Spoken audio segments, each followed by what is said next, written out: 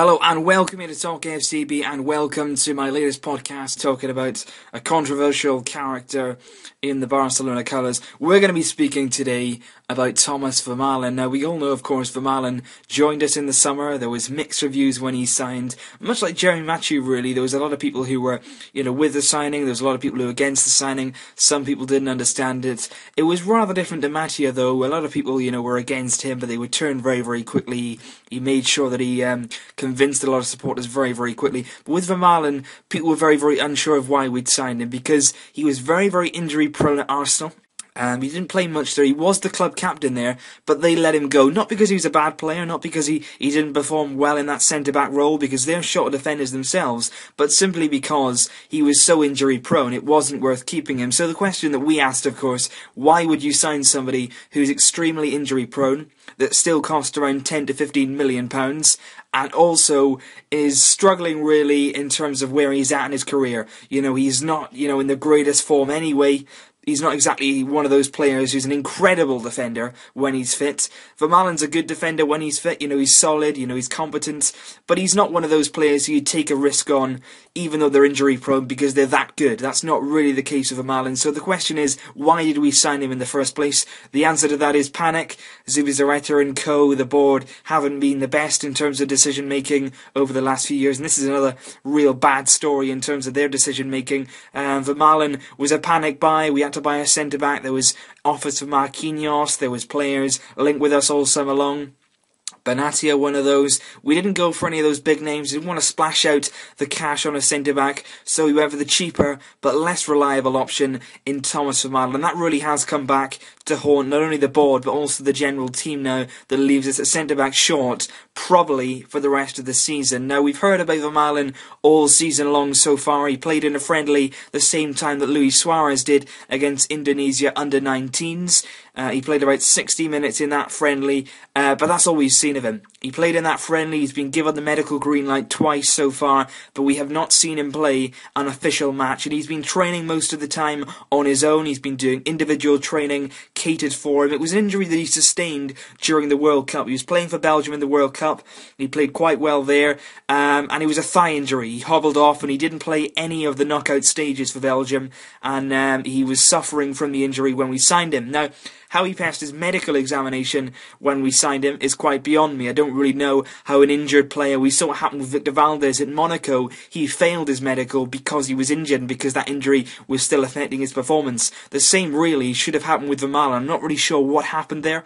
There was, um, questions when we signed him from our medical department. Our medical department advised Zubizarreta, they said, don't sign Vermaelen, he's got injury problems, it would be an unnecessary risk. Zubizarreta, being the man he is, completely ignored those advisory comments, and he went out and bought Thomas Vermaelen. And since then, we've not seen him. He's been injured, he's got this thigh problem, which is continuing to niggle away, and he came back into full training last week, and he was expected to make his debut um, against Recreativo in the uh, Copa del Rey, which is on December, the start of December. Now that won't be happening. He's um, again he's suffered a little bit of a relapse in this injury. The thigh problem has returned, and now, of course, after so many weeks of being injured, Barcelona are saying, should we send Thomas Vermaelen for the operation? Now, the uh, deciding vote stays with Vermaelen, and also the club as well will decide whether they send him to um, abroad to get this operation done. It'll be an operation that's done on his thigh muscle. And basically, what that operation is supposed to do is stop these sort of relapses happening. It's supposed to stop the, the muscle injury. Uh, because clearly, in Vermaelen's body, he's had a number of injuries over the years. He's, of course, getting on now. He's, he's getting on to his late 20s. He's had these operations, you know, he's ha- had these problems with his thigh muscles. So it's just to shore up that muscle, really. Orava is the name of the surgeon who is going to be doing the operation if it goes ahead. Thomas Vermaelen was supposedly on Skype with this man yesterday through, talking through the process of the operation, talking through the effects the operation will have on him. And he's come out today and he has said a few words to the press. I'll just read out what he has said. He said, I talked with the Barcelona doctors and with Vermaelen also. I recommended the surgery to Thomas Vermaelen directly. The decision will be made by the club and Vermaelen whether we go ahead with it in one or two days' time. So by the weekend, we should know whether Vermaelen will be going in to see this operation. Uh, and he said that the operation could happen as soon as next week.